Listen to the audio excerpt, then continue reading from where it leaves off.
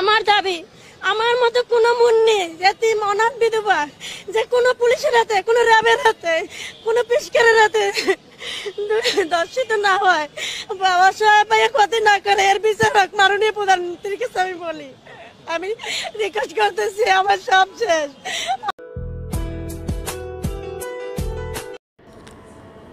দু হাজার আট সালে আমার হাজবেন্ড অর্ডার করে ফেলেছে, ঢাকার চারটি বাড়ি লেখে নিয়ে। ঢাকার জেলার ইমাম হোসেন এসপি স্যারও সে আমার বাড়িতে গেছে, আমার কাছে যথেষ্ট পরিমাণ এভিডেন্স আছে। দু হাজার আট সাল থেকে এ পর্যন্ত আমি দুটি সন্তান নিয়ে অনেক কষ্ট করছি, অসহায় ছিলাম।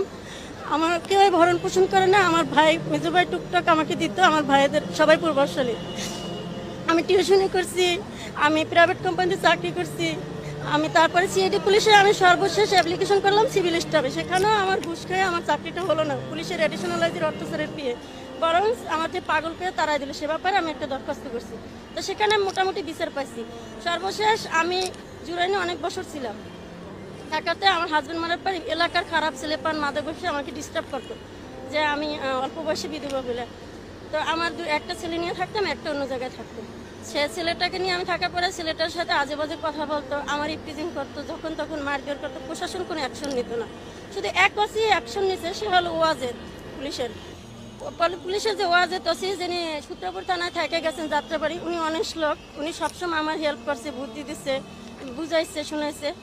আমার আঠারো সালে আমার ফোন করে নিয়ে সন্ত্রাসী পোলাপানি মাইরে ফেলাইতে লিখছে দর্শনের করে বাচ্চা বলে শিক্ষা দিছি তারপর কে বা কাহারা পুলিশে ফোন দিচ্ছে জানি না। তারপরে আমার বাচ্চা এসে তারপর কিছুক্ষণ পর পুলিশ আসছে। তখন ওসি জলিল ছিল।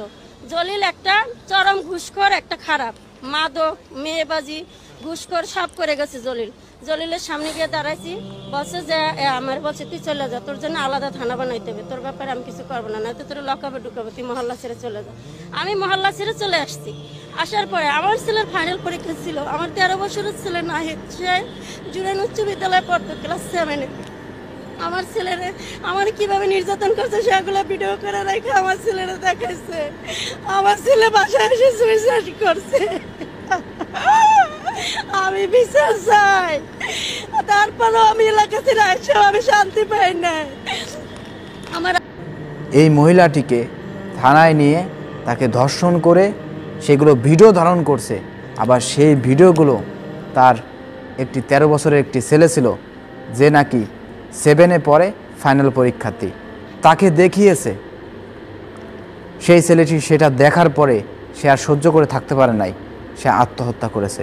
আপনি চিন্তা করে একটু দেখেন যে সেই ছেলেটিকে কোন ধরনের ভিডিও দেখানো হয়েছিল, তার মায়ের ধর্ষণের ভিডিও তার ছেলেকে দেখানো হয়েছে। এর চাইতে জঘন্য, এর চাইতে কোনো নিকৃষ্ট কাজ আর কি আছে?